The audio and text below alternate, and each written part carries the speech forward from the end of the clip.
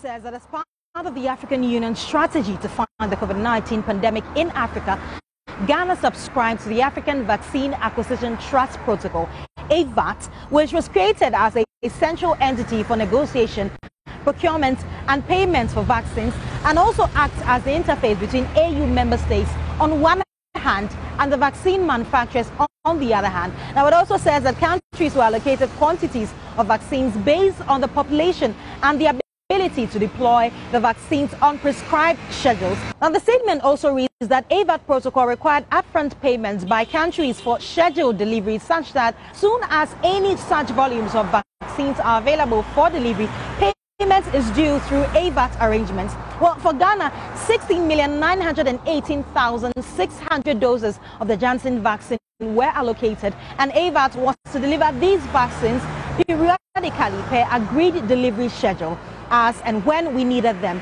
Now, the reason for the agreed number of, these doses were as a result of one, the national policy of attaining herd immunity by immunizing um, 21 million uh, people in Ghana and also to avoid wastage and aspiration and the difficulties globally in getting access to vaccines at the time.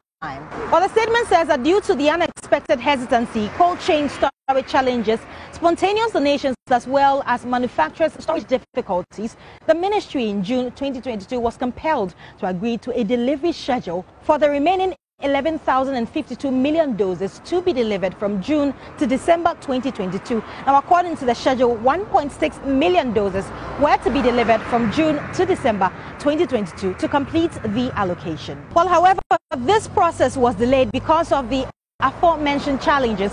Currently, the ministry requested and has received the June allocation, which was delivered in January 2023. Well, in the meantime, the ministry continues to work with the AVAT for a possible review of the contract and would want to assure the public of the commitment to work in the supreme interests of the public. Judith Awachitando, TV3 News.